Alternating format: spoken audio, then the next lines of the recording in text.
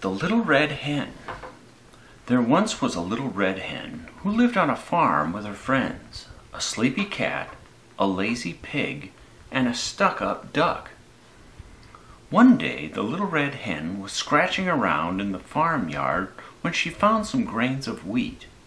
She was just about to peck them up when she stopped and thought. If I plant these grains of wheat instead of eating them, she said to herself, they will grow tall and strong and make more wheat. So she tucked the grains of wheat into her apron and went to see her friends. Who will help me plant these grains of wheat? she asked. The cat opened one eye. Not I, she said. I'm too tired. Not I, snorted the pig. It's far too hot to work. Not I, quacked the duck, and stood on one foot. So the little red hen found a patch of soil. She moved the stones and dug the earth. She made a row of holes and planted all the grains of wheat. Then she watered them carefully and left them to grow. All summer the sun shone on the grains of wheat and the rain fell on them. Each day the little red hen checked that they were not too dry or too wet. She pulled up the weeds and made sure the wheat had space to grow.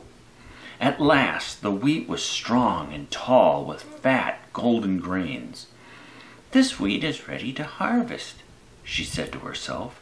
That will be a lot of work. The little red hen went to see her friends. I have worked all summer and the wheat is ready. Who will help me harvest it? she asked. Cat stretched lazily. Not I, she said. It's time for my nap. Not I, snorted the pig. I need to roll in the mud. Not I, quacked the duck, and she preened her feathers. So the little red hen took her tools and went to harvest the wheat. She cut down the wheat stalks and piled them up neatly. When she had finished, she went back to her friends. I have worked all day to cut down the wheat, she said. Who will help me make it ready for the mill? The cat yawned. Not I, she said. I'm sleepy.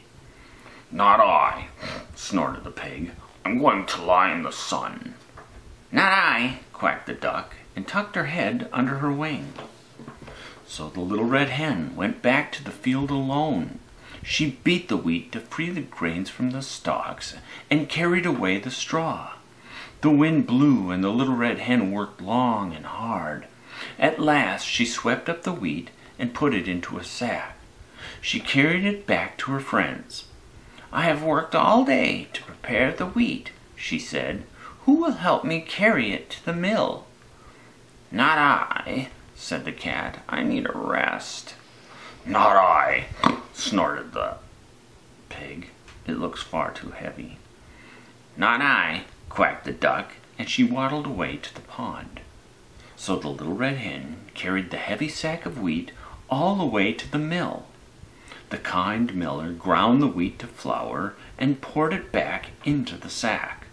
Then the little red hen carried it all the way home again.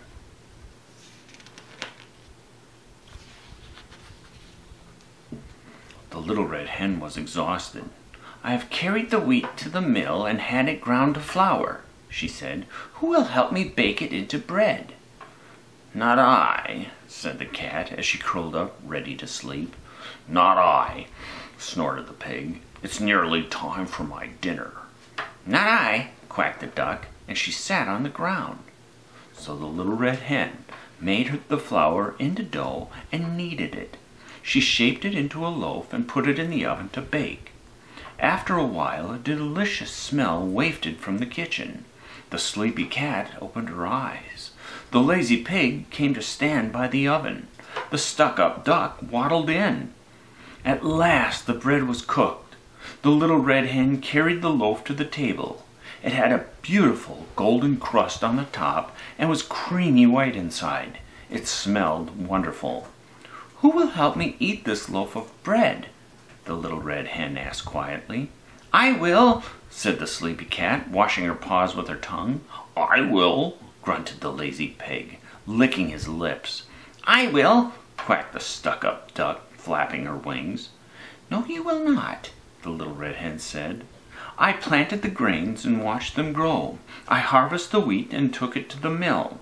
I ground the flour and baked the bread. My chicks and I will eat the loaf. And that is what they did.